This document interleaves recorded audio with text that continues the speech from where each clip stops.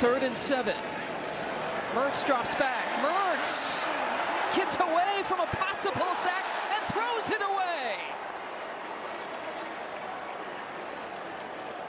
The second interception of the game, and Nicholson has it for his first of the season.